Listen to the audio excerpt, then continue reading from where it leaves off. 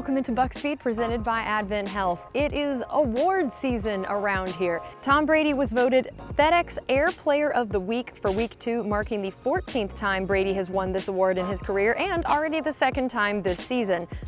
And Mike Edwards was named NFC Defensive Player of the Week for week two. This marks the first time that Edwards has earned Defensive Player of the Week honors in his career.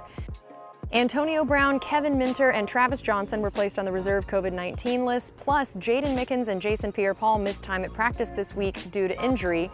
But regardless of which of those guys is available for Sunday, the team has a next man up mentality they feel really good about.